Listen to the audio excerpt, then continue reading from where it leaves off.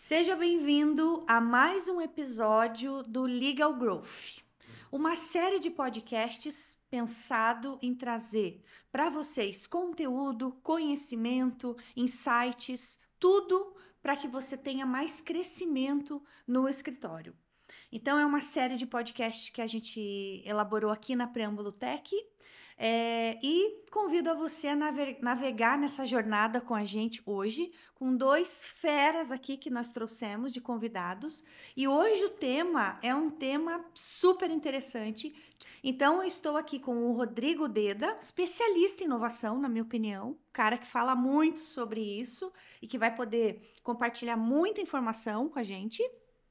E também com a Manuela Ruppel que eu vou chamar ela de Manu durante o podcast, mas também é, do escritório Arruda Alvim, e vai comentar um pouquinho também aqui sobre né, a atuação dela no escritório, mas é um parceiro nosso também de muito tempo, tanto a Manu quanto o escritório, e a gente tem imenso prazer aí, né, de estar tá, é, fazendo essa conversa com vocês. Então podemos começar com você, Rodrigo, que eu te apresentei primeiro, fala um pouco sobre a tua atuação e o teu link com a inovação Certo. Bom, eu sou advogado, é, trabalho na Advocacia Correia de Castro, sou doutorando em Engenharia de Software e fiz meu mestrado na Tecnologia e Sociedade, pesquisando seis é, programas de inovação de capacitação de startups em Curitiba. Né?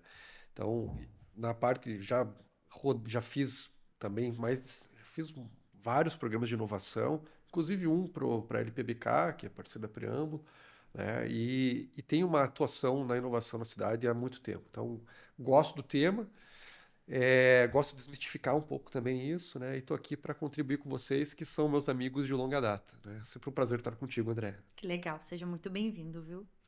E você, Manu, conta um pouquinho aí da tua trajetória, né, da tua atuação lá na Rudolvin. E também a gente convidou para falar sobre inovação, porque também, né, a gente vê o quanto você está atuante nesse tema lá dentro do escritório, né? Legal, muito obrigada. Então, primeiramente, Andréia, pela honra do convite. Prazer estar com você, Deda. Agradecemos imensamente. Meu nome, então, Manuela, como você disse, sou sócia do escritório Arrudalvim, responsável pela estrutura administrativa e financeira do escritório. Sou a encarregada de dados, a DPO do escritório, com certificação pela Exim. E também faço parte dos comitês de inovação e de compliance lá do nosso escritório. E a inovação para nós, ela acontece, enfim, há, há vários anos, de, de, de, formas diferentes. E, e, acho que é um prazer aqui, vai ser um momento de bastante interação e aprendizado estar aqui com vocês hoje, para contar um pouquinho sobre essa experiência que a gente tem vivido nesses anos dentro desse comitê de inovação, que é a área aqui específica atu, atuante hoje, né? Então, é, Fique ligado aqui com a gente, porque esse episódio promete trazer muita informação e muita inovação para você nos conteúdos. É, nosso podcast está nas plataformas, estão nas plataformas do Spotify e também no YouTube. Então, fique ligado.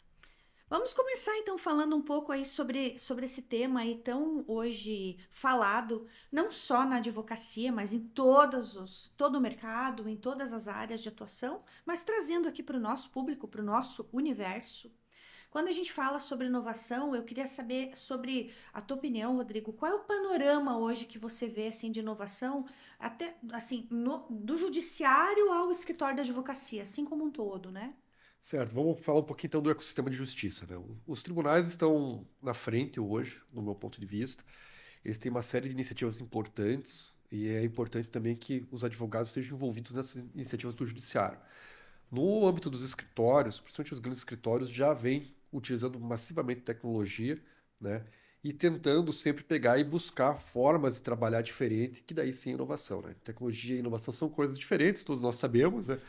É, mas é importante entender que uma coisa está atrelada à outra mesmo. Você vai ter que. Você vai buscar inovação a partir de uma, de uma forma diferente de fazer que te traga produtividade, ganhos de produtividade. Isso pode ser de uma maneira de melhorar um processo ou pode construir algo completamente novo. Né? Quando a gente está construindo coisas novas, geralmente se fala, não é o caso de ficar discutindo tecnicamente isso, mas se fala que é disruptivo, né? porque está rompendo um padrão e está modificando geralmente o mercado. É, a disrupção ainda com a tecnologia no direito, eu acho que vai demorar um pouco, entendo isso, mas os ganhos de produtividade a partir de melhoria de processo, a partir de tecnologia e inovação já é possível e tem sido feito é, de certa forma, vamos dizer assim. Né? Na tua visão, Manu, Como é que você vê esse panorama aí, né? Até no próprio judiciário, né? Como é que você vê? Como é que eles estão trazendo inovação já de lá para dentro dos escritórios, no processo em si? É, acho que bem como o Deda pontuou, como bem pontuou o Deda, com relação à inovação dentro, eu posso trazer a experiência do nosso escritório, né? Uhum. E sempre buscando estar na mesma página é, dentro de tudo que está acontecendo do em volta. contexto todo. Exatamente. Por, e, por exemplo, o contexto judiciário que vem iniciando todo esse processo. É, no nosso escritório, nós observamos, é, como a gente comentou há, alguns anos, é, isso até foi, posso até trazer aqui um pouquinho da experiência que tivemos numa Expotec Jurídica dentro da OAB, em que tivemos uma consultoria de legal design Uh, e que nos convidou a pensar, a, a nos reunirmos. É, nosso escritório também é um ecossistema de diferentes áreas de atuação. E nós tivemos um momento em que nós saímos né, da, da, da, da, nossa área física e fomos convidados a interagir entre os times. Então, nós tivemos essa interação com times diferentes, com diferentes pensamentos. Então, naquele momento, acho que a inovação ela começou a acontecer dentro do escritório, é, em que a gente começou a ouvir ideias diferentes, em que às vezes a solução de uma área poderia ser a solução da outra que não necessariamente estavam se conversando todo o tempo. Então, isso para nós foi esse começo, né? E, e, cada vez mais. E foi daí então que nós vimos que um comitê é, seria muito interessante ter no escritório, isso desde 2018 mais ou menos, é, de diferentes áreas, com essa multidisciplinaridade de, de pensamentos, né? Uhum. É, e dessa forma, então, trazendo para a experiência interna nossa, foi que a gente entendeu que a gente conseguiria ter, uh, pensar diferente, ter novas ideias para facilitar processos, para ajudar as equipes, né? E nos ajudarmos como um todo e ao mesmo tempo estarmos sempre é, juntos aí na mesma página da inovação como um todo externamente. Que legal, então foi lá dentro da OAB que veio essa ideia era um evento? Era um programa? De... Era, era um evento onde nós participamos, alguns membros do escritório participaram, e ali a gente então teve essa, essa interação com essa é, consultoria Só entre vocês, de. Na lá. verdade, foi um, foi um, foi, um, foi um evento, to... na época, acho que chamava Spotec, se não me engano. Tá. É, e nós então tivemos o contato com essa empresa consultoria de legal design que provocou em, todo ah, no... em todos nós tá. essa, essa dinâmica, né? Então foi uhum. um, um, processo que durou ali alguns meses uhum. é, e foi muito interessante. Então, naquele momento, a gente sentiu, assim, que nós nos aproximamos ainda mais, né? Então, a gente tinha muito o que contar com os times. Então, o financeiro, ele tinha para agregar no técnico. Uhum. É, as próprias áreas técnicas, que são diversas no nosso escritório, tinham para agregar uma com a outra. O RH, é, a parte de TI, que foi cada vez mais crescendo no escritório, né? Uhum. É, e a partir daí, então, é, com essas dinâmicas, nós vimos que nós tínhamos que a nossa riqueza, né, dessa é, enfim, dessa interdisciplinaridade das nossas áreas, poderia agregar demais é, para nossa comprar nossa convivência. E as ideias inovadoras elas surgem assim, né? A gente sabe que a tecnologia ela acaba sendo uma protagonista, mas a inovação surge no escritório da troca de ideias, né? Da, de, do pensar diferente, de ouvir, da escuta ativa, né? Dos colegas de outras áreas. Então, para nós, acho que é, esse movimento realmente foi o que começou a trazer cada vez mais essa, essa, essa essas mudanças, né? Você vê que bacana, né? Eu, é, eu acho, acho legal a gente trazer isso, que é a fala que a gente colocou aqui no começo, e até estava conversando antes de, de, de, a gente é, estar aqui, né, juntos, que a inovação, ela não é só tecnologia. Você vê que no escritório, no caso, é, um, é uma forma de pensar. Então é aí que começa. Como a gente faz para pensar diferente dentro do negócio, seja no escritório de advocacia ou qualquer negócio? Ah, temos que pensar diferente do que a gente está fazendo hoje. Como que a gente vai fazer isso? Existem metodologias para poder fazer isso. Foi aí que vocês tiveram contato com uma metodologia, uma provocação Sim. de pensar diferente. Exatamente. Então, aí é um começo de já implantar a inovação, de pensar a inovação. Você vê dessa forma também. Eu vi que você também participou de muitos, é, até hackathons, né? Muitos hackathons, verdade, programas de inovação dentro da OAB. E isso provoca também, né, uma, uma inovação, porque você está trazendo novas ideias, novos produtos e você coloca um monte de gente pensando sobre um determinado tema juntos no mesmo lugar. Então, são formas de provocar e de sair novas ideias, que nada mais é do que inovação, né? É, a OAB do Paraná foi, fez o primeiro hackathon de Legal Tech do país, né? A gente fez o primeiro hackathon, depois fizemos um hackathon de um mês, que também era uma novidade. Né? Eu não gosto de fazer a mesma coisa duas vezes, eu tenho esse, essa dificuldade. Fizemos um terceiro hackathon que daí foi é, em nível global e a equipe que ganhou aqui foi para Nova York, foi super interessante. Então a gente, na OAB, é, na minha militância como advogado, a gente sempre busca fazer coisas diferentes, né? E transformar, que, e que a OAB seja um motor de inovação e de melhoria para todos os advogados do Estado. A ideia é que nós sejamos é, é, referências reconhecidas fora do, do, no Brasil né, e no mundo como um, um, um, estado de grandes advogados e de grandes escritórios. Né? Então essa é, uma, é um propósito que nós temos na OAB, um propósito importante, porque é, na verdade, a gente já é, a gente só precisa mostrar isso de uma maneira um pouco diferente. O, dentro da visão assim que a gente tem que ter dentro dos escritórios e como que funciona para funcionar é essa abertura que a Manu falou, que é completamente certo, você tem que ter uma abertura e tem que estar no teu DNA, tem que estar nos teus valores lá, né? inovação, valores de abertura, porque as boas ideias estão em todos os níveis de, de gestão. Né? Pode estar num, num prestador de serviço, pode estar num estagiário, um advogado sênior, enfim, não importa. Você tem que ter essa abertura para descobrir as boas, as boas ideias e apresentar hipóteses e testar essas hipóteses. Sempre vai ser. Não pode ter métricas de vaidade, porque aí você está defendendo, está fazendo política, né? Então, essa abertura, essa humildade, essa abertura para o erro é extremamente relevante. E é claro, vai errar barato, rápido, fácil. Não vai fazer uma implementação, uma implementação de uma novidade técnica em todas as áreas do escritório de uma vez. Faz uma área específica. Né? Testa aquilo que vai te dar mais agilidade para competir no mercado. Né? Então é isso que a gente busca né? e, tem que buscar. Né? E aí que eu acho interessante o papel da preâmbulo nisso, sabe? A preâmbulo tem uma. Está sempre inovando, trazendo coisas muito interessantes, né? E em vários níveis, né? E a gente sabe hoje que o próximo motor de inovação ainda incipiente, mas rapidamente vai, vai ser um grande motor de inovação, é a relação do advogado com a inteligência artificial. Né? Então, esse é um tema importante para a gente tratar com aqui certeza. também. Eu acho que complementando um pouquinho o que o Deda comentou, é, ainda trazendo um pouquinho, como, como você perguntou, né, Andréia, sobre é, em, como é que começou essa questão da inovação e, e, dentro dos nossos, do nosso escritório, em relação à questão, então, tivemos essa, essa consultoria na época, isso também nos deu ideia de criar, de ouvir o, todos, né, ouvir todo o time, é, em todas as áreas. Nós criamos um concurso de ideias na época. Ah, que legal! É, e premiamos, né, e nós tivemos algumas edições desse concurso.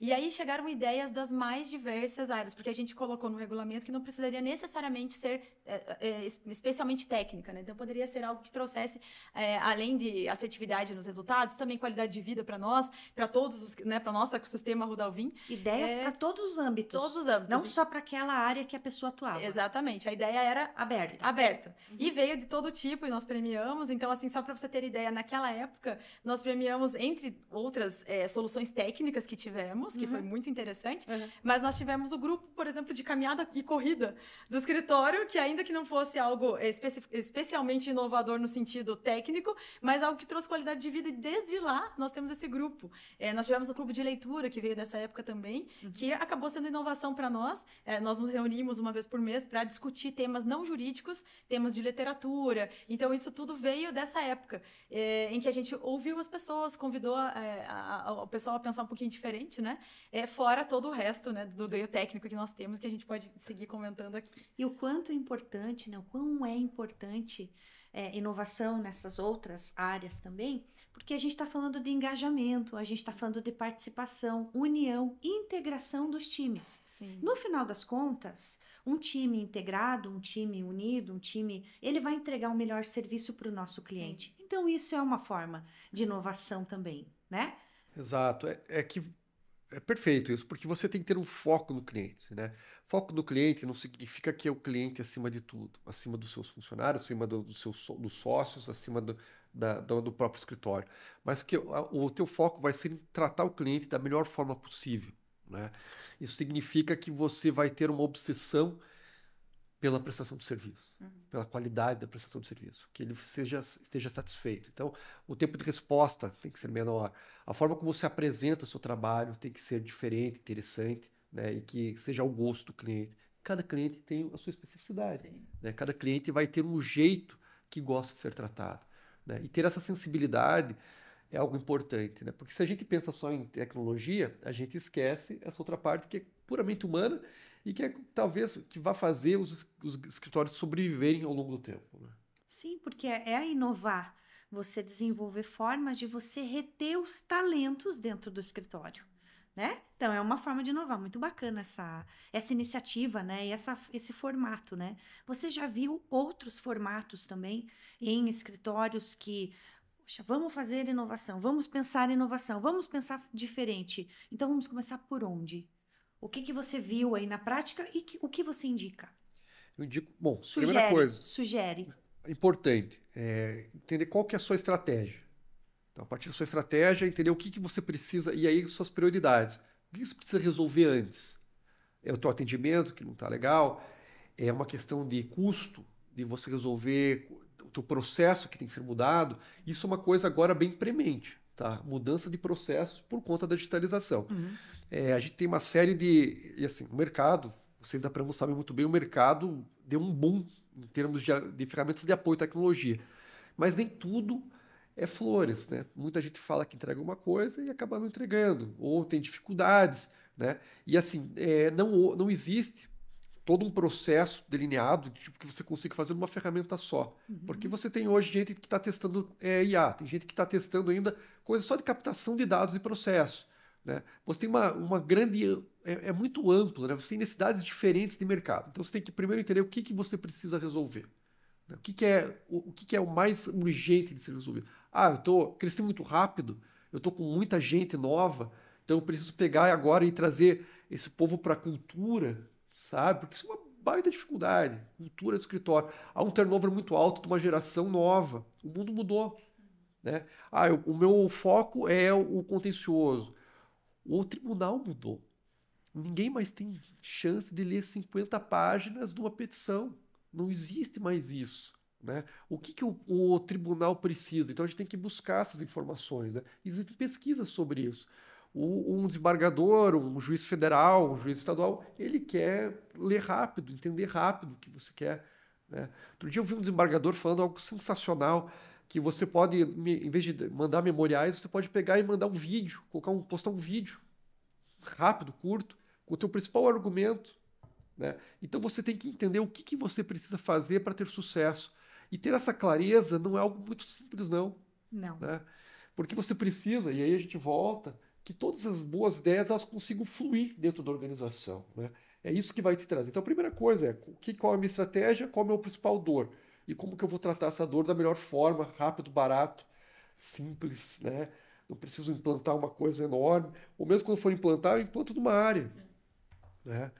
Então, acho que esse é o começo o da começo. nossa discussão Tá. aqui. Né? Sim. Como é que foi lá então? É, o começo. Depois que vocês. É, eu né, vejo o Deda comentando e acho que, nossa, parece que a gente vê a nossa experiência acontecendo, né? Eu me vejo ali vivendo exatamente o que você vem comentando.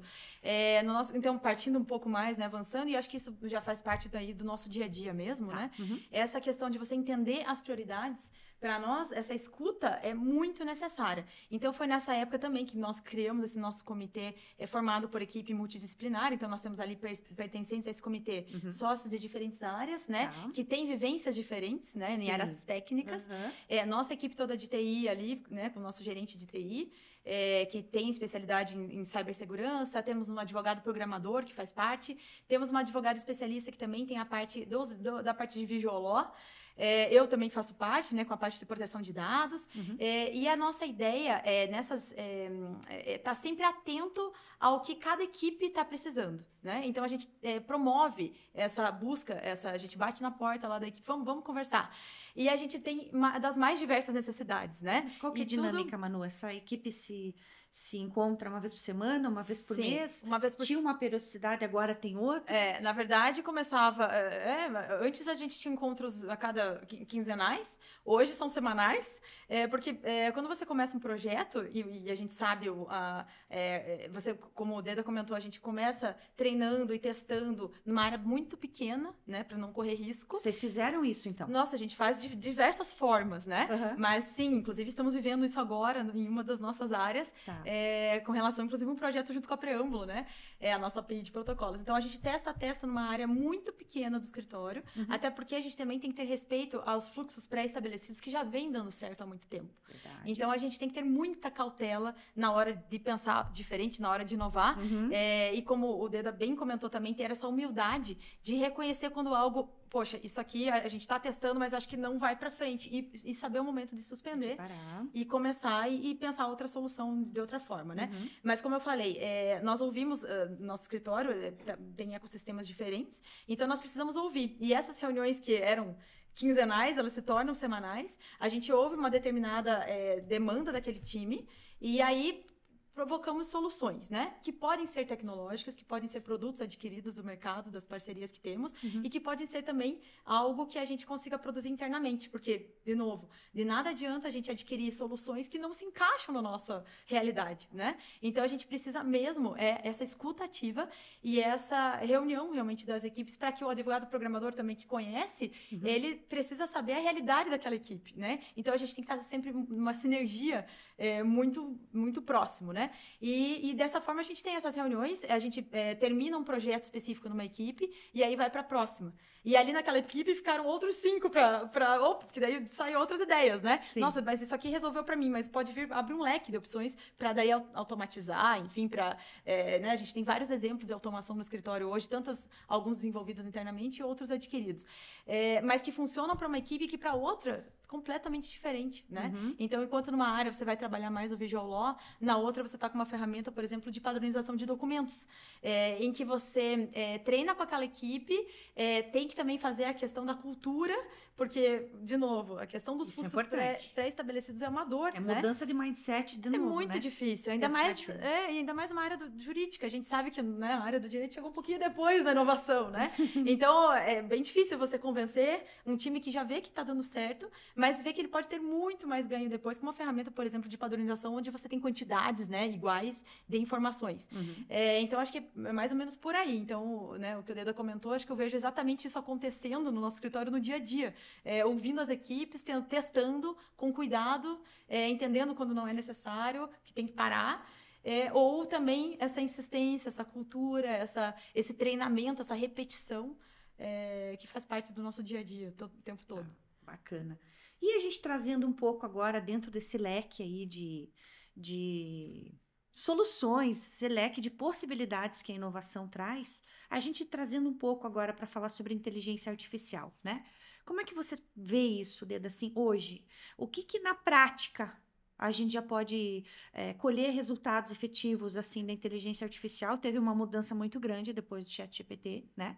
Tem uma aproximação com o usuário aí muito grande e acho que o mundo mudou, né? Depois disso, mudou muito e trouxe também muitas possibilidades, muitas empresas integrando com plataformas e com ferramentas que têm trazido agilidade, mas também, por outro lado, tem muita coisa ainda que está no mundo das ideias, né? Que ainda está nas, nas, né? nos testes e ainda não tem aplicação prática. Queria que você trouxesse um pouco aí essa tua visão, né, dessa mudança que teve, e depois quero te ouvir também da opinião sobre isso, e o que, que você vê já trazendo resultados práticos, assim, para onde que você acha que vai também, né? Legal. Bom, primeira coisa... É Pergunta de milhões, né, essa? Essa é boa, assim. é, eu até escrevi um artigo para um, um livro da Ordem que vai falar sobre toda a regulamentação da advocacia, e esse artigo eu falo sobre a questão da necessidade de compliance com relação a isso. Tá? Porque é, uma, a gente, como advogado, tem que entender que essas ferramentas são de apoio para nós fazermos algo melhor. Né? E elas não substituem o nosso trabalho, né? até porque você pode ter uma série de problemas e dificuldades se você usar isso de uma forma sem muita clareza. Uhum. Né? É, principalmente por conta do, da, das ferramentas mais, mais básicas que existem e que estão aí gratuitamente, né? Então, assim, a primeira coisa é, é sim, a IA não é um hype, não é uma moda, tá? Ela veio para ficar, vai melhorar no tempo, sim, e vai ser muito importante para os advogados, né? Então, a primeira coisa que nós temos que entender é como que nós vamos usar isso é, de uma forma segura e que o nosso cliente saiba disso. Porque o que não pode acontecer é, por exemplo, usar uma IA generativa, que é esse, essa nova fronteira que o chat GPT traz, uhum. o cliente não saber que eu estou utilizando. Uhum. Né? Tem que ter transparência, então. Essa é a primeira coisa. Né? Uhum. O, todos os projetos de, de lei, tanto o, o, o, regulamento europeu já colocado, né, que deve ser aprovado agora até abril, provavelmente, quanto o, o PL 2338, que está no Senado, eles colocam a questão de transparência como algo relevante para as partes envolvidas. Não dá para você utilizar. É sempre que você for utilizar uma IA, você tem que fazer uma análise de risco muito rica. Essa análise de risco ela tem que envolver as partes afetadas, os indivíduos, o negócio e também a sociedade. É uma premissa que está na, na ISO é, de gestão de risco de inteligência artificial. Agora vamos supor que você já colocou todo, já tem todos os cuidados estão colocados, você já sabe o que você vai fazer e tudo mais, né? Ah. Aí você tem que a primeira coisa para qualquer escritório, para qualquer pessoa, advogado que vai utilizar, é o aprendizado, é o retorno sobre aprendizado. Né? Não vai pensar sobre retorno sobre investimento no primeiro momento, você tem que entender, porque existe uma relação com a ferramenta e essa relação de aprendizado ela é super importante para te dar uma vantagem competitiva ali na frente. Agora, o que você pode fazer com isso hoje? Desde revisão de texto, desde insights para ideias de artigo, insights para ideias de marketing, desde é, questões técnicas que você tem que pegar e melhorar a tua redação, ele pode te ajudar. É, hoje não acho que seja uma ferramenta é, ainda, tá? Mas é assim, ele em pouco tempo ele vai te ajudar a peticionar, né? Sei que existem várias é, empresas de tecnologia que já estão desenvolvendo isso, o judiciário quer muito isso também para poder tomar decisão, uhum. mas daí a gente tem que começar a ver quais, quais são os riscos né, de desenvolvimento dessas ferramentas e como elas foram desenvolvidas. Então a gente precisa ter uma aproximação é, muito grande dos fornecedores de tecnologia hoje para entender como que os riscos foram tratados né, e que tipo de compliance e desenvolvimento ético responsável está existindo.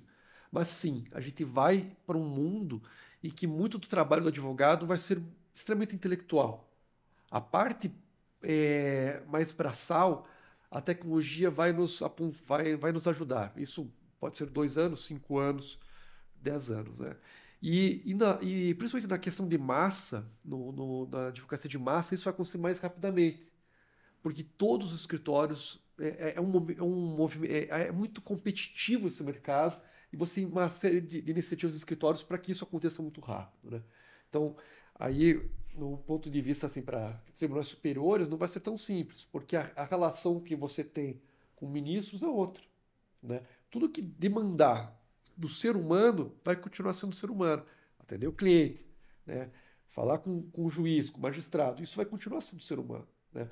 Agora, tudo aquilo que te facilitar e tornar mais rápido a tua ação, você vai acabar fazendo isso com a inteligência artificial. Ela vai te ajudar muito, sim.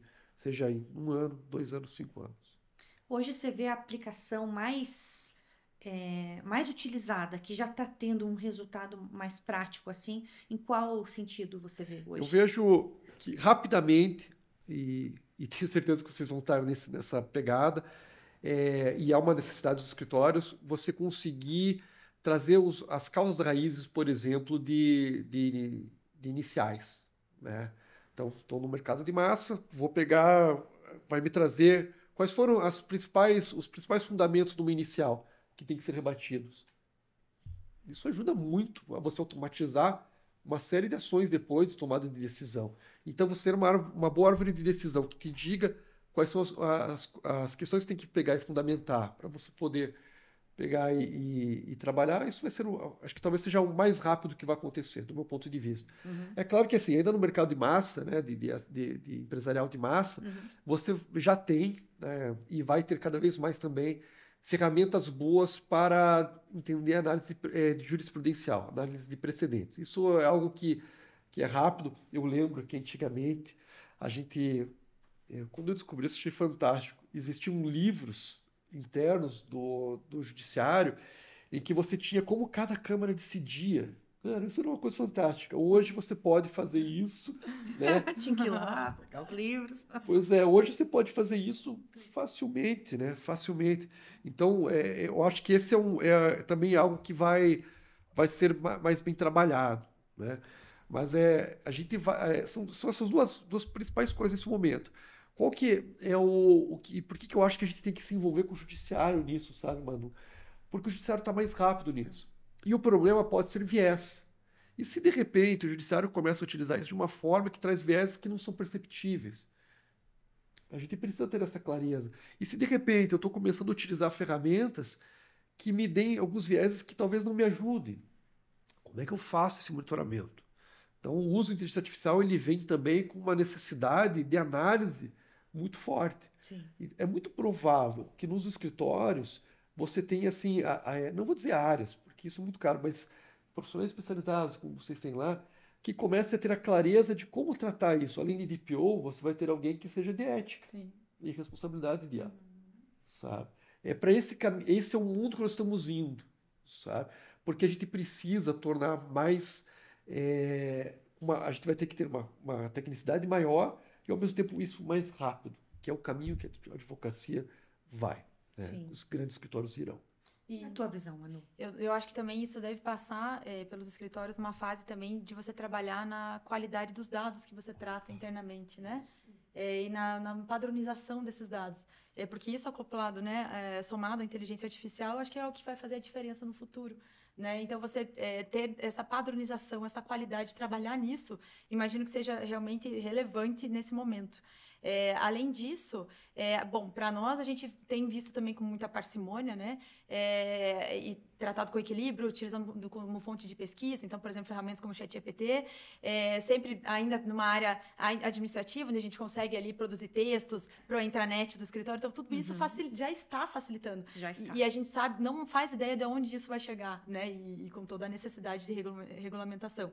Mas na parte técnica, é o uso com parcimônia, é o cuidado, é a, é a- é a área de TI totalmente, diretamente envolvida. é, e, e falando, de- como vocês disseram, sobre a transparência, né? Então, como aplicar isso? De que modo aplicar? Então, é, realmente com muita cautela, mas já utilizando de, de- de modo assim moderado, né? É, e como muito como base de pesquisa inicialmente, com muito cuidado. Mas acredito também, então, com essa questão da qualidade dos dados, que acho que fará bastante diferença, né? Essa padronização e você investir em qualificar os dados no teu ambiente de trabalho. É, O que, que você pensa sobre isso? Eu tô adorando, porque a Manu tá certa. Assim, não existe. é, é, eu- tem uma coisa que é, é bem da nossa área, que cada escritório provavelmente vai ter ferramentas que ele vai alimentar com seus próprios dados. E essa questão do, de você ter uma governança de dados relevante, ela é crucial para que você tenha boas ferramentas. Você está coberta de razão, sabe? E aí, assim, talvez, talvez, agora eu não cobrando, né? A grande sacada dos, dos grandes escritórios vai ser como é que eu vou fazer isso de uma vantagem competitiva com base naquilo que eu tenho, né? É o Esse é diferencial. um grande negócio. Então você vai ter, vai ter que buscar ferramentas que te deem essa possibilidade de se alimentar com os seus dados e que produza, te ajude a produzir coisas que tenham maior segurança, né? Porque você tem, a gente tem várias questões que são muito relevantes. E aí o ChatGPT, não vou falar do ChatGPT, enfim, mas outras ferramentas parecidas com Por ele exemplo, também. né? É. Por exemplo, é questão de segurança de informação, questão do- de proteção de dados dos seus clientes, sejam dados pessoais ou não, confidencialidade, né? Então são, é uma série de questões que você tem que pensar de a questão de propriedade intelectual, extremamente relevante. Então, como é que você pensa todos esses riscos acoplados para o negócio? E a governança de dados, perfeito, mano, concordo integralmente contigo. Tá certo. E as fontes de informação sobre esse tipo de, de, de coisa, assim, o que que vocês indicam, assim, para quem está buscando, quero mais informações sobre inteligência artificial, sobre mais informações sobre como aplicar aqui no meu escritório. Tem alguma, que locais que são bacanas, assim, de pesquisar e de ir atrás e ver? Como começar? É. Bom, é, veja, cada um tem um, um seu jeito de começar, né? É, é, é muito, para mim é muito fácil falar porque, poxa, eu estou em comissão nacional de proteção de dados, né?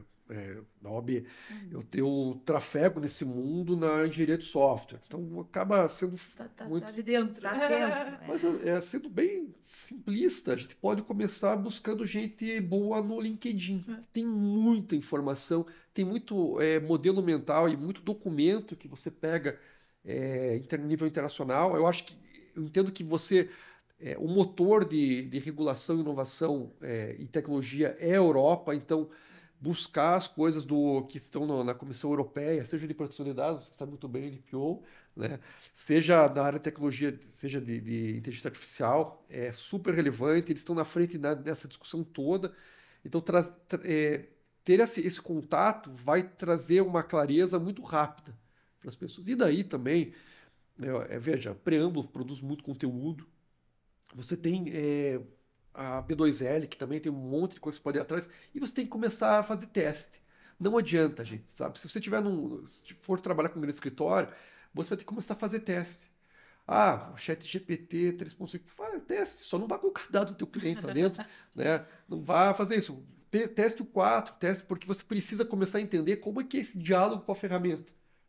Teste ferramenta de vídeo, teste ferramenta de, de, de, de foto. Você tem que começar a entender quais são os problemas. Você tem que ter um pensamento jurídico tradicional. Porque, tudo bem, a tecnologia vem, tem coisas novas, sim, que a gente vai ter que sempre discutir coisas novas e pensar as coisas novas com um olhar novo, mas tem coisas que são tradicionais, questões de propriedade intelectual. Né? Hoje nós temos uma discussão super interessante de, de propriedade intelectual, que é, é uma, uma, imagem produzida na tua interação com o IA, você pode requerer é, autoria ou não. Ou, por exemplo, o, o, escritório de copyright dos Estados Unidos disse que não. Um juiz chinês agora disse que sim. Né? O que, que nós pensamos sobre isso? Né? Eu tenho minha opinião, não é o caso de discutir aqui. Né? Mas é, o que eu quero trazer é assim: a gente precisa ter o contato. Por isso que eu brinco muito do retorno sobre o aprendizado, antes do retorno sobre o investimento. Uhum. Porque você precisa começar a entender que ganhos que você pode ter, isso vai, só vai saber fazendo. Gostei desse conceito. É, retorno, é retorno sobre o aprendizado. Exatamente. É. Bacana esse conceito, é importante mesmo se pensar nisso. E Porque senão você tá muito, né? Se abre muitas possibilidades, né? Para nós, da mesma forma, é, em relação a pesquisas, é, o LinkedIn com certeza é uma ferramenta sensacional, né? Que você tem uma, é, muito conteúdo e de diversas, né? Um espaço muito grande ali de Universo conteúdo. muito grande. Né? Exatamente. Nós, enfim, aí participamos de feiras, é, a gente está sempre atento a, a, ao que está tendo né, no mercado em relação à B2L, também somos, fazemos parte, né? Então, nós temos ah, essas fontes de pesquisa e, e, acho que é sempre assim, testando, né? A gente eh, recebe também diariamente uma chuva de, de, de, de, possíveis fornecedores, né? Porque quando você participa de uma coisa, você já fica ali linkado, Sim. ele já vai a chegando. A oferta é grande, É, né, a oferta é grande, exatamente. E a gente vai marcando reunião é, quando opa, isso aqui pode fazer sentido para essa área. Reunião para entender. Então, até pra, primeiro manda seu material de apresentação para ver de que modo. Não, isso aqui realmente acho que não, não faz sentido. Mas a gente começa, então, a ouvir também das próprias equipes técnicas, né? O que uhum. eles trazem de ideias. Uhum. Mas é, essas fontes de, de, de, de, webinars que nós também é, acessamos e, e tudo isso acho que vem agregar e sempre buscando testar o começo. Então, muitas das conversas iniciais com diversos fornecedores não saíram da primeira conversa, né? Porque não, realmente não vai fazer sentido aqui para nós. Mas outras, às vezes, por ali trouxe uma solução, enfim, linkada com algo que a gente acabou criando ali dentro mesmo, né? Então, sempre essa abertura para ver lá fora, não, será que vale a pena trazer? Não, talvez o que a gente consiga fazer aqui mesmo. Então, essas ideias, né, tá sempre buscando e estando antenados aí a tudo que está acontecendo. E você, como DPO, inclusive, né, fazendo parte do, de um comitê desse de inovação dentro do escritório tão relevante como a Rodalvin, né? Na tua opinião, quais são os desafios, então, éticos e legais, né? É, associados à implementação de inovações tecnológicas. Não estou falando só de inteligência artificial. Sim, sim, né? inovações de... como um todo. Isso, como um todo. Assim, como é que você vê isso? Bem, uh, o nosso escritório na origem, desde sempre nessa área empresarial, nós acho que a gente já teve uma régua muito alta desde o início, é, quando ainda não, não existia ainda a Lei Geral de Proteção de Dados né, no Brasil, é, em relação a... a, a, forma como tudo é desenvolvido lá dentro. Então, nós somos auditados constantemente pelos próprios clientes, né? É, então, nossa régua já começa alta na questão de segurança da informação, na questão de proteção de dados, antes mesmo da LGPD estar em vigor.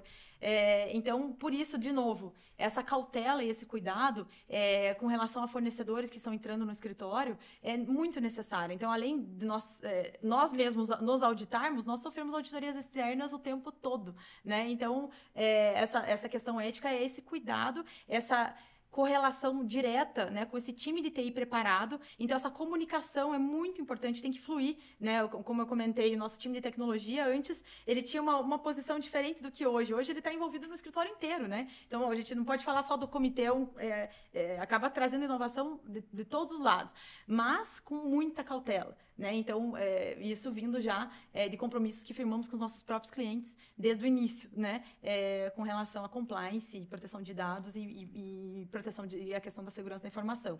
Então, é, é, é, é você avaliar o fornecedor, é avaliar se aquilo, de, de, que modo aquilo vai impactar na operação, de que modo isso pode impactar externamente, né?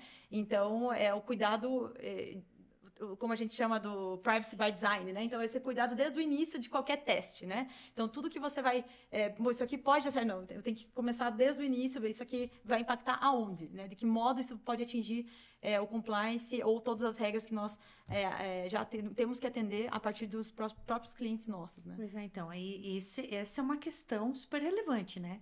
Porque até um tempo atrás a gente podia ter mais um pensamento um pouco mais aberto até, né? Uhum. Vamos inovar, vamos testar, mas a exigência, né, LGPD, compliance e tudo mais, começando pelos próprios clientes, é, torna mais complexo. É, torna exato. mais complexo esse processo todo, né? De testar, de você inovar realmente e você pensar em tudo para que você siga dentro dessa, né?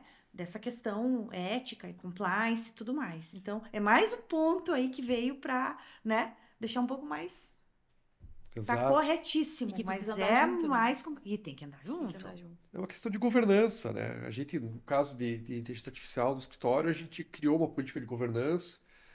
É, já atendemos clientes nisso, já temos uma série de, de, de, de necessidades que a gente identifica seja contratual, seja de, de criação de comitê, seja de, de análise de risco.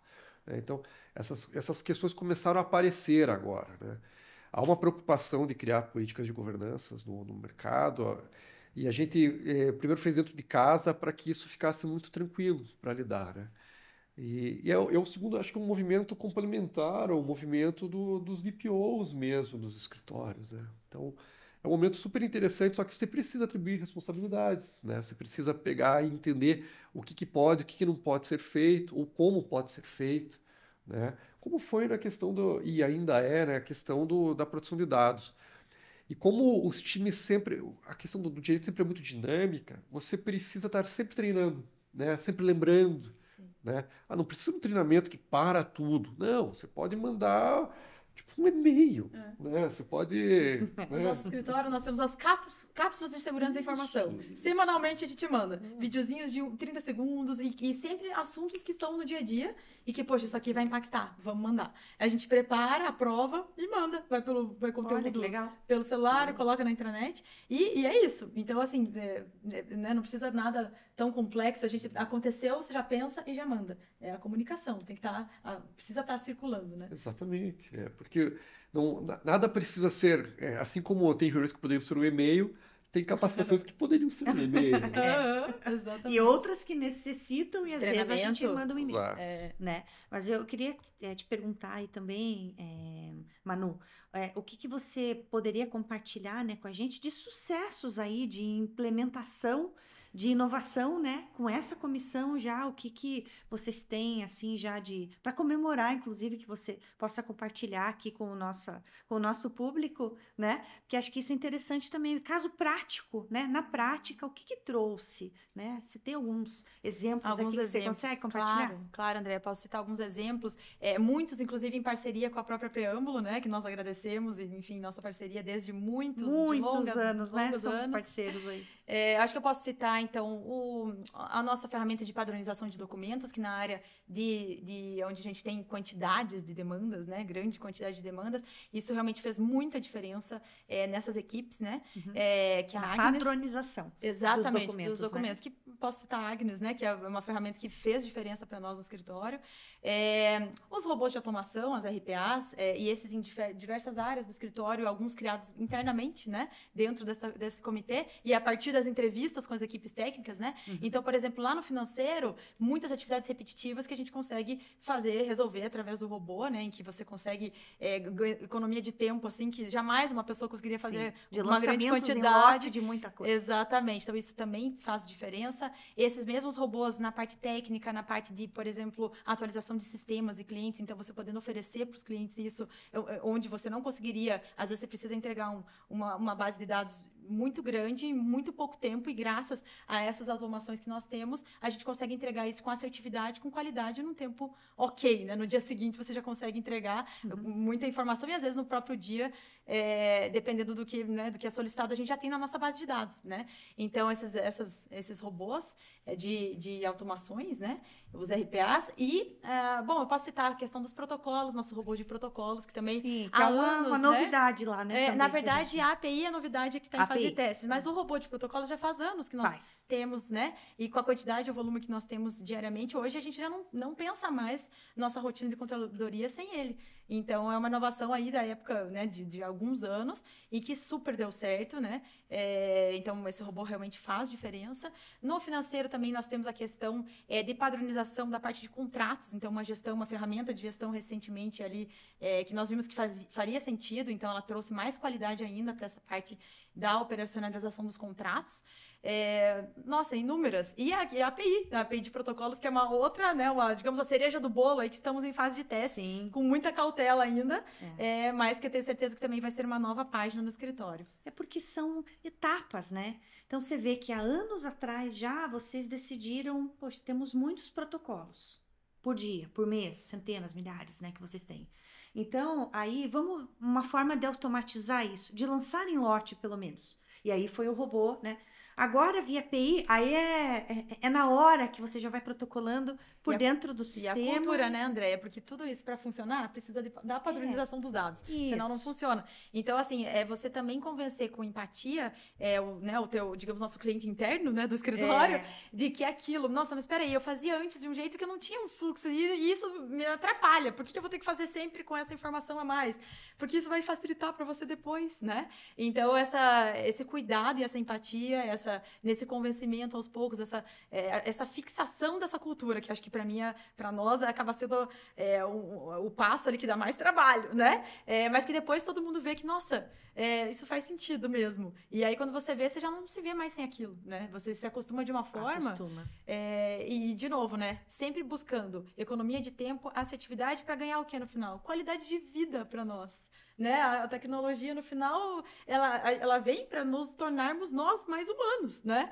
É, ela tem que ser uma parceira nossa é, no sentido de ela fazer o que eu não vou precisar fazer. Sim, né? a gente precisa se convencer, né, de, de, muitas coisas, né? E a gente viveu inúmeros exemplos nesses anos no escritório com relação a isso e algumas equipes de forma mais rápida, outras de formas mais porque de novo, né? Somos muito diferentes internamente. Então cada equipe tem a sua necessidade. E algumas talvez não faça ainda muito sentido algumas ideias que estão já acontecendo em outras, né? Então, por isso, de novo, esse olhar atento a essa diversidade, né? Eu acho que faz parte isso, né, Deda? Porque, assim, ó, é, lá na Preâmbulo, a gente, como uma Legal Tech, a gente também tá antenado, né, trazer inovação, trazer tudo que é possível de tecnologia, de inovação tecnológica para dentro dos escritórios, mas isso casa exatamente com o que você está falando. Essa, a gente precisa ajudar o cliente muitas vezes nessa mudança de cultura. Porque não é assim que você muda o mindset. Eu trago um exemplo aqui do workflow, que sempre é um exemplo que eu, que eu gosto de utilizar, porque é, uma, é um, uma coisa antes na gestão, quando você fala de gestão, e isso é inovação, uma coisa depois. Porque as pessoas estão é, acostumadas a empurrar o processo, as pessoas estão acostumadas a ter o controle sobre aquela tarefa, aquelas, por mais que dê um trabalhão enorme, por mais que exija um trabalho manual dela e de um time, mas é sempre eu fiz assim, então é, a gente também busca trabalhar em ajudar o cliente na transição suave, uhum. com menos impacto de novas soluções e de você colocar uma ferramenta como o Workflow, por exemplo, que é uma das maiores inovações que a Preâmbulo trouxe nos últimos tempos, porque o sistema passa a empurrar o processo e não mais as pessoas. Mas espera, isso é uma mudança de mindset é. muito é. grande, é uma mudança de cultura, que é isso que você estava falando.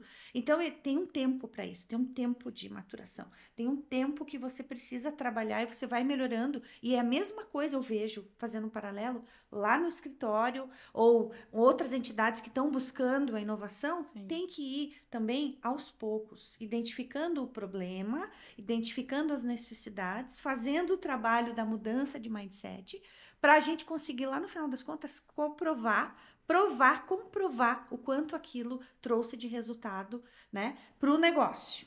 Então, esse é o principal desafio. A gente fala de inovação, tecnologia. Desafio para inovação é mudar o pensamento das pessoas é. dentro do, do no, dos nossos negócios, é. né? O workflow fez muita diferença para nós também na área das intimações, né? E da marcação de prazos da nossa controladoria. Então, nessa fase, e vocês tiveram muita empatia conosco, né? Dessa transição suave, é, realmente era, era o medo do, do, do novo. É, porque é algo muito pré-estabelecido que dá muito é certo. muito diferente. Exatamente. Mas tivemos sucesso, né? Já também há anos que nós temos workflow da parte de intimações, marcação de prazos, que facilitou completamente o dia a dia da controladoria nessa parte, né? Então, é, é exatamente isso. É você ver o resultado é você ter aquele conhecimento, aquele aprendizado, né? Então, aqui, aprendi com isso, não, agora vamos, vamos, vamos pro próximo, que acho que vale a pena tentar, né? Mas é difícil, né, é... Deda, também? Muito Convencer o né? advogado também, né? Ah, vamos, né? Mas, mas então, isso eu acho um grande ponto da preâmbulo, que é essa, esse diálogo que faz com os escritórios, né, para resolver os problemas dos escritórios, né? E aí tem uma questão que tudo, os dois lados aprendem, né? É, é muito eficiente o trabalho de vocês nisso, sabe? Parabéns. né? Obrigada. Obrigada. É, é isso que eu falei para vocês. É, não é só oferecer solução tecnológica, mas é oferecer um apoio na transição e na mudança de mindset também, porque é necessário. E é um momento todo que a gente está vivendo de tanta coisa, tanta novidade, né? Que a gente precisa ter esse apoio, precisa ter esses profissionais também ali ajudando, né? Mas é, eu, eu queria saber também de você, Manu, é, o que, que você acha assim que são tendências, perspectivas assim de inovação que vem por aí, tanto no escritório para você ou no mercado no geral, assim?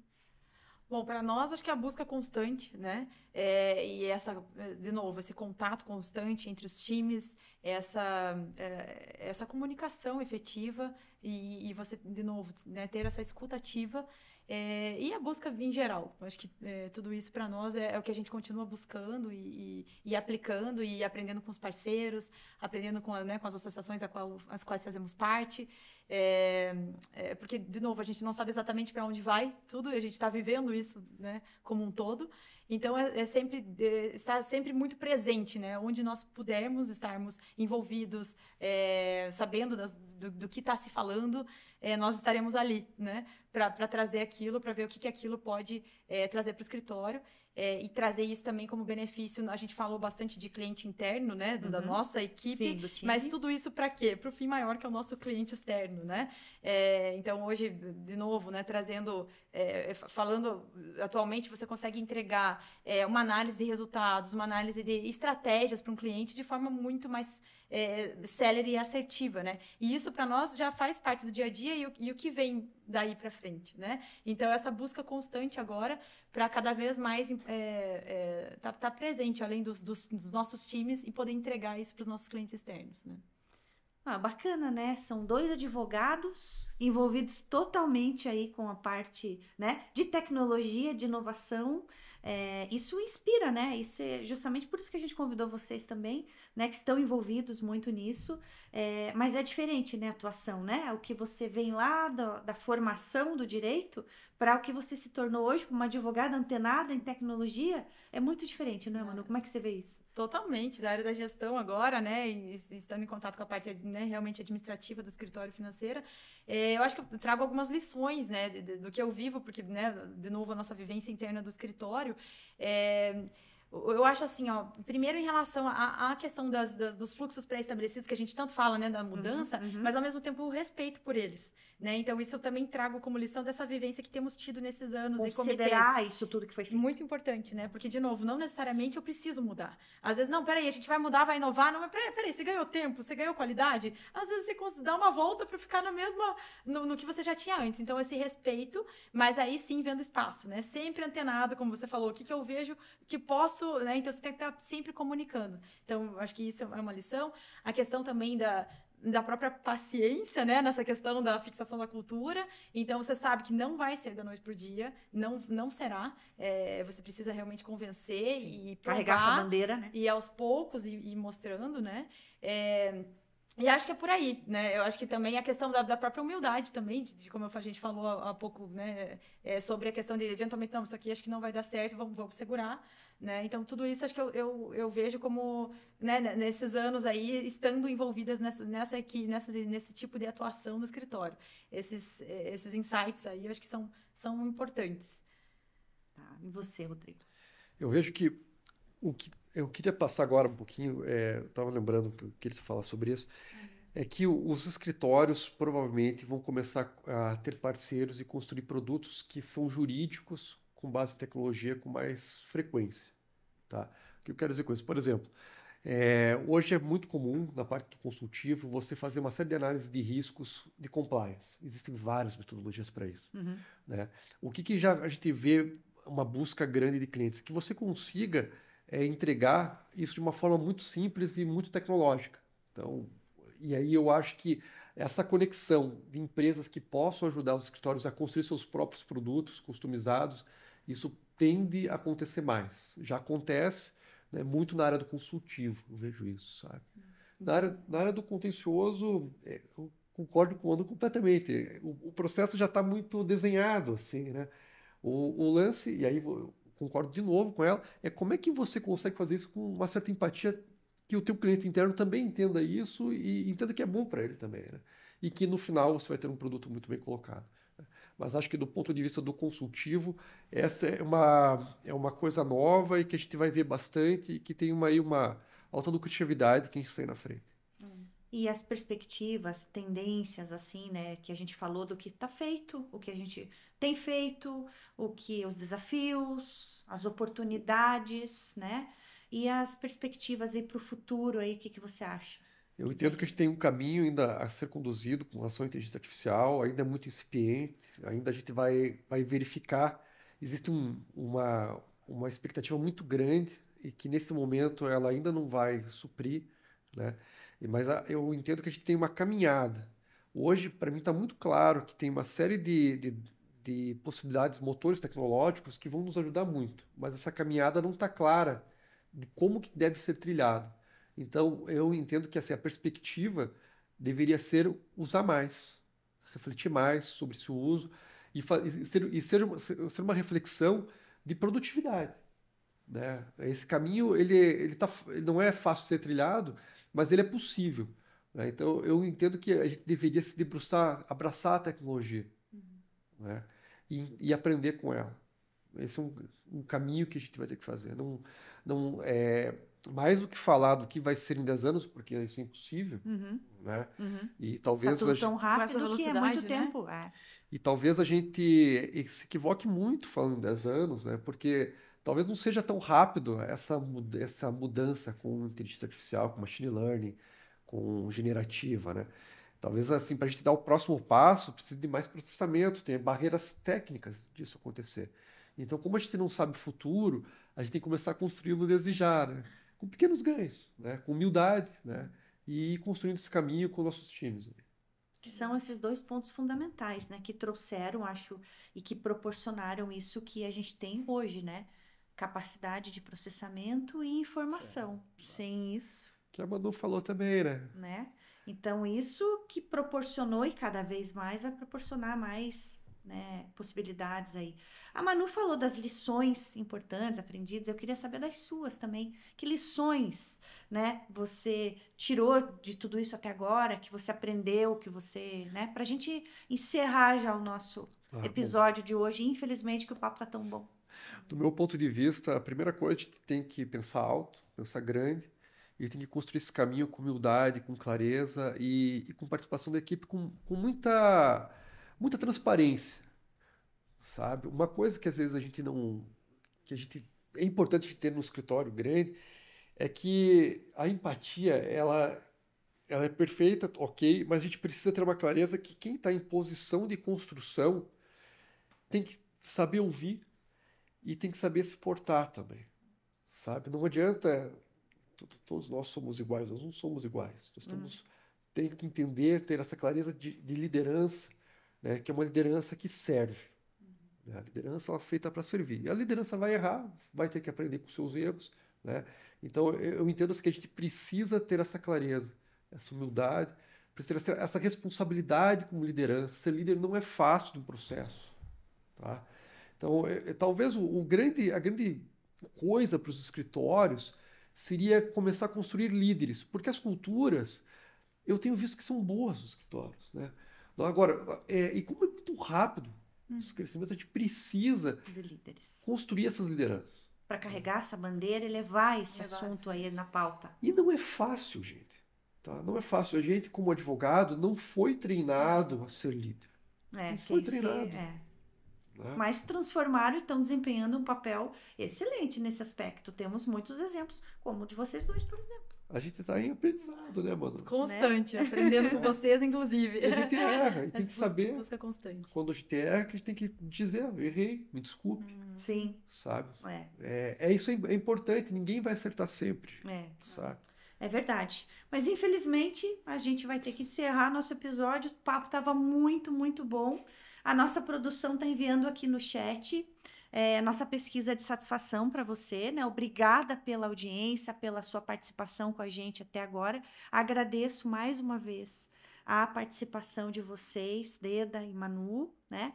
É, não esqueça de seguir a Preâmbulo também nas redes sociais, acompanhar os conteúdos que a gente compartilha. Na pesquisa de satisfação também é importante, porque a gente pergunta para vocês novos conteúdos, novos temas que vocês querem ver por aqui no Legal Growth, e a gente segue nesse propósito de trazer sempre conteúdo para contribuir para o crescimento do negócio de vocês. Muito obrigada e até o próximo.